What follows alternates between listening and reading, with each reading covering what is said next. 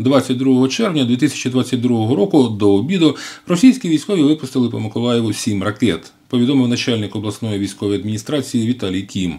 Це сталося рівно через 81 рік після нападу на нашу територію іншого загарбника. На напад Німеччини 22 червня 1941 року миколаївці відреагували гідно, розповідає Ігор Ніколаєв, доктор історичних наук, завідувач кафедри філософії освіти, теорії, методики суспільствознавчих предметів Миколаївського обласного інституту післядипломної педагогічної освіти. Містяни, зокрема, здавали власні кошти на потреби оборони від агресорів. Відреагували е, підйомом, патріотичний підйом, тому що до середини липня у народне ополчення в Миколаєві записалося е, більш ніж 70 тисяч мешканців міста. Близько 20 тисяч е, записалося до винищувальних батальйонів, які безпосередньо е, полювали на диверсантів і охороняли важливі об'єкти, стратегічні об'єкти міста. По місту їздив агітаційний трамвай який був якраз е, спеціально спрямований для того, щоб показувати, що ми можемо, чим ми можемо допомогти фронту. Промисловість терміново переводили на випуск продукції, необхідної для оборони. Більшість підприємств це наш суднобудівний 61-й завод, Чорноморський суднобудівний. Вони е, перестосувалися на випуск снарядів та авіаційних бомб. Такі підприємства, як е, парфюмерна фабрика, е, кондитерська фабрика, вони почали випускати бутилки з вибуховою сумішю. У середині липня з просуванням гітлерівських військ починається евакуація підприємств Миколаєва та області. Якщо брати Чорноморський суднобудівний завод, то базовим центром, куди він евакуювався, це було місто Астрахань. І якраз у Чорноморській з е, більшості е, цехової продукції якраз його потихеньку перевозили в Астрахань.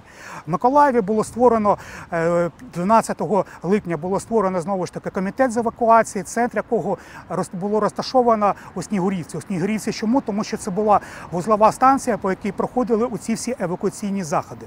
Підприємство Первомайська їх було евакуйовано до Саратова. Захопили гітлерівці Миколаїв 16 серпня 1941 року, і він залишався під окупацією до 28 березня 1944-го.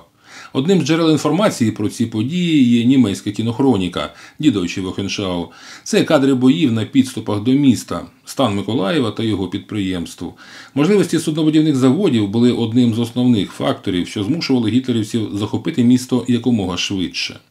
Через 81 рік Миколаїв знов намагались захопити нові російські нацисти.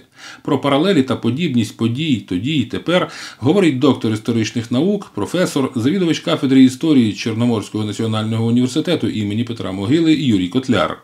По-перше, обидва вторгнення розпочалися рано вранці, відповідно о 4 та близько 5 години і у невипадкові дні.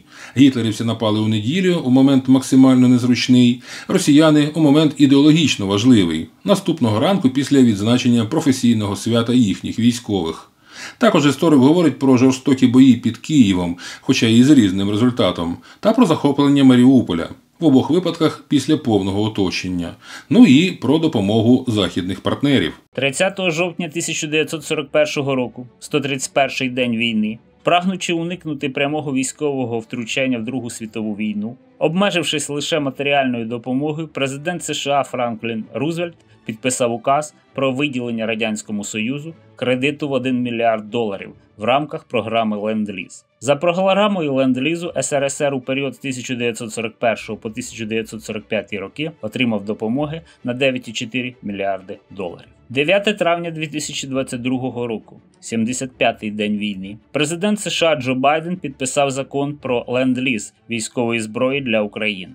Тепер Україна зможе безперешкодно отримувати новітню американську зброю, техніку та обладнання. Федір Бондар, Олександр Пан. Новини на Суспільному. Миколаїв.